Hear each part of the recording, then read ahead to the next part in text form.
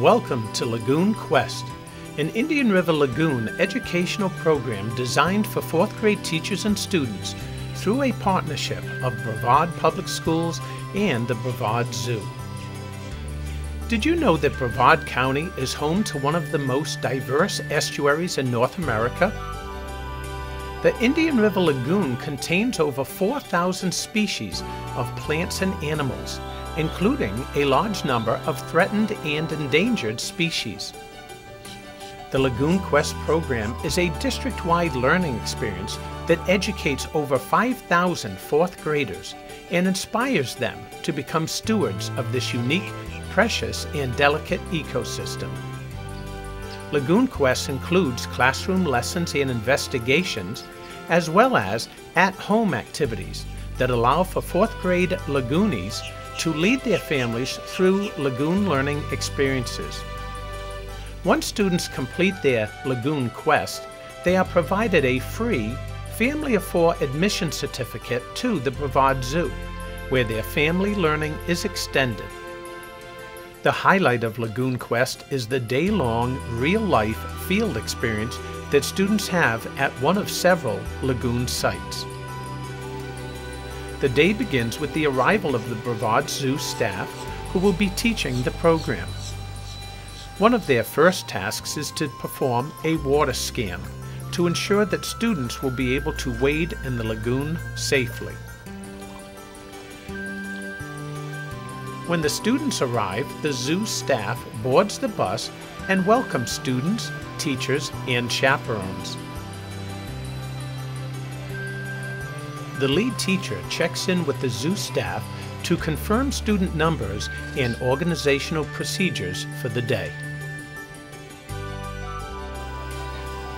Once students are settled at their tables, the chaperones get a safety briefing and review procedures and their responsibilities for the day. Meanwhile, students review biofacts about marine organisms, adaptations, the river, and they identify animals by their skulls.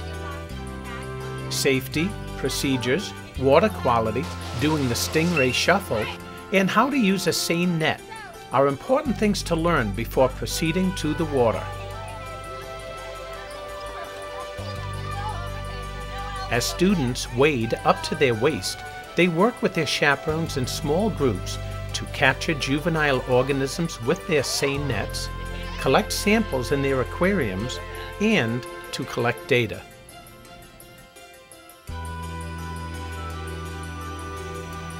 After 30 to 45 minutes in the lagoon, it's time to clean up, change into dry clothes, and enjoy a delicious lunch.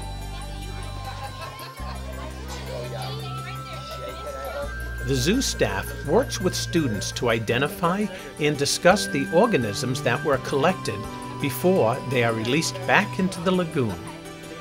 The water quality of the lagoon is discussed as student data is analyzed.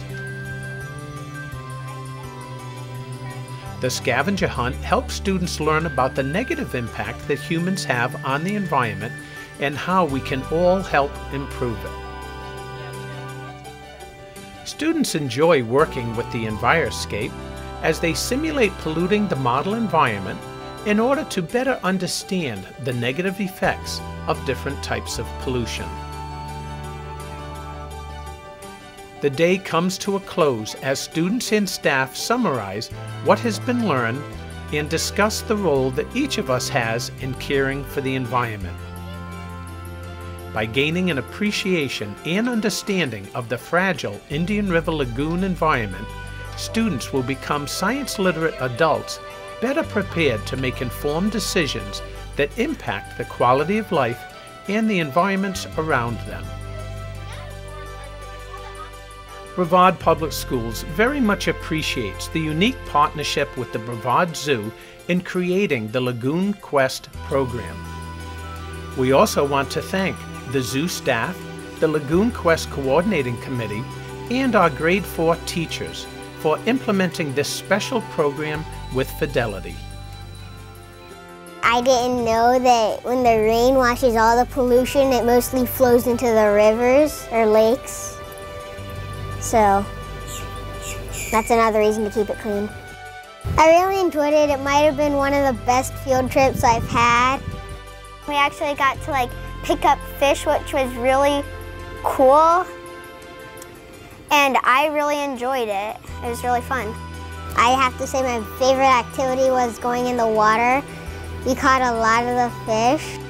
Just like not pollute the water. Don't just like, don't pretend that the world is like your own huge trash can.